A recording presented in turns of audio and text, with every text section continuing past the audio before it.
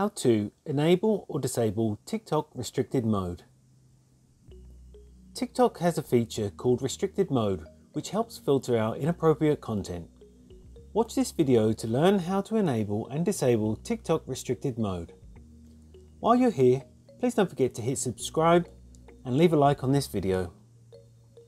Okay, so to enable restricted mode on TikTok, first open the TikTok app and go to your profile by tapping on your profile icon in the bottom right hand corner.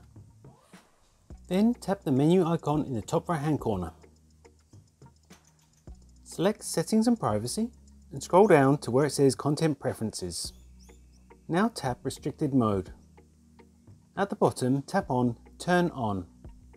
Now set a passcode for your restricted mode setting. This will prevent it from being turned off by someone else. Tap next, then put in your PIN again. Now tap set. Restricted mode is then enabled. Once turned on, restricted mode will help limit the content that can show up on your For You page so you don't see inappropriate content. If you want to disable restricted mode, go back to your profile. Again, click on the menu Settings and Privacy, Content Preferences, tap on Restricted Mode, then tap on Turn Off. Enter in your passcode, tap on Next, and now restricted mode is turned off. And that's all it takes to enable or disable TikTok restricted mode.